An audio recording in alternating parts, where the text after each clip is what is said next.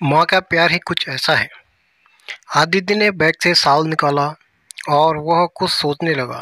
वह सोच रहा था कि पिछली रात जब वह बिस्तर पर जाने से पहले अपना बैग पैक कर रहा था तो उसकी माँ कैसे अपना साल लाई थी और उसे बैग में रखने के लिए कह रही थी। कैसे उस उसने कहा था, अगर बारिश हुई तो बहुत ठंड लगेगी। करीब एक घंटे से अधिक समय से ट्रेन एक छोटे स्टेशन पर खड़ी थी। ट्रेन में बैठे बैठे आदित्य का धैर्य जवाब दे रहा था। आज होकर वह अपनी सीट से उठ खड़ा हो गया। वह पता लगाना चाह, चाहता था कि आखिरकार ट्रेन इतनी देर से एक ही जगह पर क्यों खड़ी है। वह अपनी सीट से उठकर गेट के पास गया। उसने बाहर देखा कि यहाँ तो बारिश हो रही थी।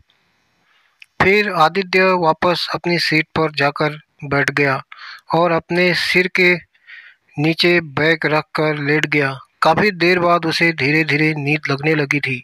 अचानक एक महिला ने उसकी बाजू को हिलाते हुए उसकी नींद उड़ा दी। वह उठकर बैठ गया। उसी बीच उसकी नज़र एक अधेड़ उम्र की महिला पर आ गई।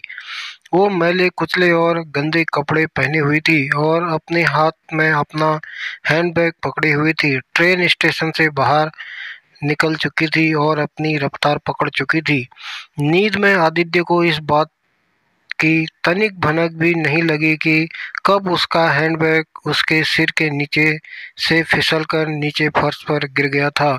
आदित्य ने पटाख से अपना बैग उस महिला के हाथ से ले लिया और चेक करने लगा कि कहीं उसका पर्स और अन्य सामान गायब तो नहीं है। ज्यों ही उसने अपना बैग खोला तो अंदर अपनी माँ का शॉल देखकर आश्चर्यचकित रह गया। बैग में सारे सामान व्यवस्थित तरीके से रखे हुए थे। आदित्य ने बैग से शॉल निकाला और वह सोचने लगा। वह सोचने लगा कि पिछली रात जब वह बिस्तर पर जाने से पहले अपना बैग पैक कर रहा था तो उसकी माँ कैसे अपना शॉल लाई थी और उसे बैग में रखने के लिए कह रही थी। कैसे उसने कहा था, अगर बारिश हुई तो बहुत ठंड लगेगी।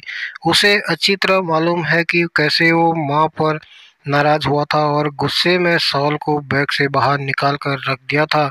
मगर यह सॉल अभी भी उसके साथ था। वह मन ही मन सोचने लगा, शायद माँ ने मेरे सो जाने के बाद इसे वापस रख दिया होगा। कुछ वक्त बाद जब आदित्य पानी लेने उठा तो उसने देखा कि उसका शरीर तो बुखार से गर्म हो रखा है। खुद को असहाय महसूस करते हुए उसने तुरंत अपनी माँ को कॉल किया और बोला, माँ, कल रात तुम मुझे कुछ मेडिसिन का पैकेट देना चाह रही थी। इससे पहले कि आदित्य अपनी बात पूरी कर पाता, उधर से उसकी माँ बोल पड़ी, बेटा, तुम्हारे सिर में दर्द है क्या? आदित्य कतई हाजिर नहीं करना चाहता था कि उसके बुखार के बारे में जान कर उसकी माँ बेवजह परेशान हो। इसलिए उसने कह दिया हाँ माँ। उसकी माँ बोली, मैंने तुम्हारे हैंडबैग के सामने वाली जेब में दवा का पैकेट रखा है, तुम उसमें से निकाल कर सिरदर्द की एक गोली ले लो। और हाँ मैंने पैकेट में बुखार की दवा भी रख दी है, शायद कुछ खा लो। सुनो, मैंने तुम्हारे बैग में एक सैंडविच पैकेट भी रख दिया है। आदित्य कुछ घंटे बाद सोकर उठा तो पहले से काफ़ी बेहतर महसूस कर रहा था, जैसे कि वह अपने पैर फैलाने के लिए उठा तो उसकी नज़र गलियारे के पास बैठी एक महिला पर पड़ी। उसने अपने बच्चे को गोद में ले रखा था। खिड़की से ठंडी हवाएँ आ रही थी।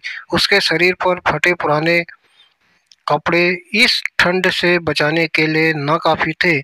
आदित्य ने गौर से देखा तो पाया कि, अरे, ये तो वही महिला है। जिसने उसे पहले जगाया था और उसका बैग लौटाया था। बिना सोचे समझे आदित्य ने बैग से अपनी माँ का शॉल बाहर निकाला और ठंड से काँप रहे बच्चे को उड़ा दिया। उसने देखा कि बच्चा कैसे अब सुकून से सो गया है। आदित्य सोचने लगा, वह एक नहीं, बल्कि दो माताओं के प्यार और स्नेह की चादर से लिपटा हुआ था। माँ के प्यार की तपिश की कुछ ऐसी है। तो दोस्तों, आप लोगों को मेरी स्टोरी कैसी लगी? कमेंट के माध्यम से बताएँ और मेरे आगे की स्टोरी सुनने के लिए मेरे चैनल को सब्सक्राइब करें। धन्यवाद।